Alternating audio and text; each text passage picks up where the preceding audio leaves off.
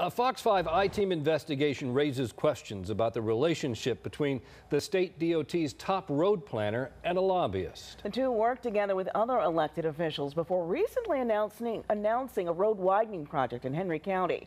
Well, senior I-Team reporter Dale Russell has investigated that business relationship between the two men. Dale? Deidra, it's interesting. County governments across Georgia are fighting to have the state improve existing roads or build new ones in their area. Governor Deal selected former legislator Jay Roberts to be his top man to help make those decisions at the DOT. And one decision he made has kicked off a storm of controversy. Hey, we appreciate that. Yeah, yeah. In this online hunting and fishing show, you can find two old friends having fun hanging around the campfire Jay Roberts and William Woodall. But when they aren't in the woods, former state representative Jay Roberts is Governor Deal's powerful hand-picked director of planning for the state DOT. And William Woodall is a well-known lobbyist.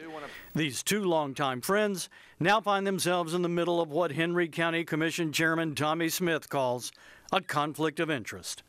To me, you would be lobby, lobbying government and you'd have an inside person. This doesn't look good to you. They don't look good, no sir.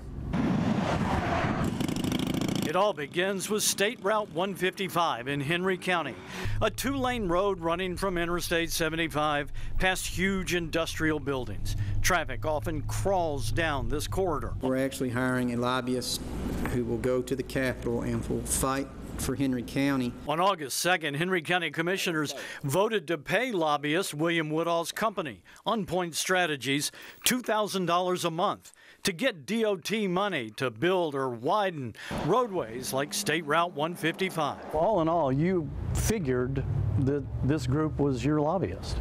All in all, yes. It looks like Mr. Woodall went right to work. Look at this press release. Eight days after the vote to hire him, Mr. Woodall met with State Senator Rick Jeffares, the DOT's Jay Roberts, and other Henry County officials to discuss road projects. Roberts announced that day the DOT would spend $72 million to widen State Route 155, putting Henry County's road improvement ahead of hundreds of other state roads. This is your decision. It, it is, it is, yes. We got a $17 million project with uh, Jay Roberts and William Woodall. And just six days later, the Henry County Commission voted to appropriate money to pay Woodall's company and gave him credit for bringing home the DOT bacon. He got Jay Roberts down here in, in a week's time. And he's the man. Jay Roberts is the man. When we caught up with Jay Roberts at DOT headquarters, he also gave credit to William Woodall. Roberts told me Mr. Woodall did good work for Henry County. I, I complimented him on the fact that, that he was one that advocated on behalf of the city and the county when we were there that day. The Fox 5 I-Team has learned that Jay Roberts and William Woodall are more than friends. According to Mr. Roberts, they're business partners in Dirt Road TV. Is it a conflict of interest? I, I, some people may see it that way. I don't. If it takes on even the appearance of impropriety, it's wrong. But Henry County Commission Chairman Tommy Smith sees a problem. He voted against hiring Mr. Woodall as a lobbyist, but he didn't know about the Roberts Woodall business relationship. This thing is so convoluted. It's, it's like a spider web.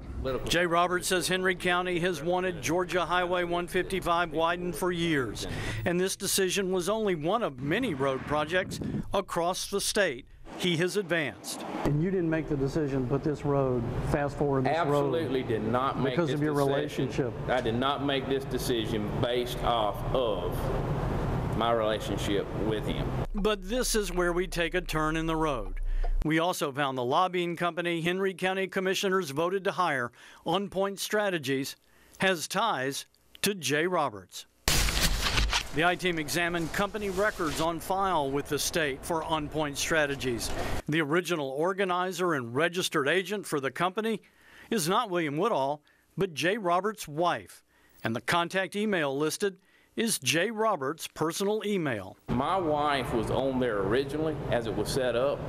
If she's still on there, I actually need to pull her off. Roberts says originally On Point Strategies was formed to do that hunting and fishing show but he and his wife are now out of the company. It belongs to Mr. Woodall. But the original company records indicate it was formed for management, sales, and consulting. Not one word about hunting or fishing. I guess we have not modified it to that point, but I can assure you that I have never received anything, nor my wife has ever received anything from that. This right here tarnishes uh, the, the whole credibility to me and Mr. Roberts. Whether it's legal or not, it, it, it's, it's a conflict of interest. After talking with Jay Roberts in the morning, within one hour we got messages from the governor's staff and the DOT saying, wait, William Woodall didn't sign the lobbyist contract Henry County gave him almost two months ago. And they tell me if he didn't sign it, then he's not Henry County's lobbyist. That was news to Henry County Manager Lyndon Bonner when we told him. Nobody as of this day has told you that something is different than what was voted on. Absolutely not. If he's telling people he's not a lobbyist, then it, it, it must be something more to it because we got so many people that the public thinks he's our lobbyist. And we wanted to know why Mr. Woodall didn't sign the contract, but he didn't return our phone calls. And on the day we interviewed Jay Roberts, the Secretary of State's office filed a notice to dissolve the company belonging to Mr. Woodall, On Point Strategies. Deidra? A lot there, and we know you'll keep digging. We will. All right, thank you, Dale.